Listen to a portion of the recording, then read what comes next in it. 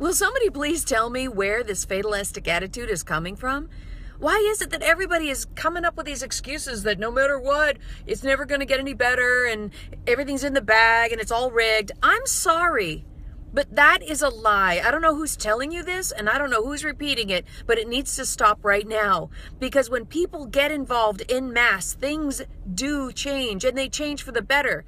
That kind of fatalistic attitude has no place in our future because history has taught us over and over and over again that one person can make a difference and that person could be you. So stop hearing those bad tapes, turn them off, and get involved. You matter, you're important, you're valuable. So quit telling yourself that, ah, to heck with it. I'm not even going to try. Well, what good has ever come of that?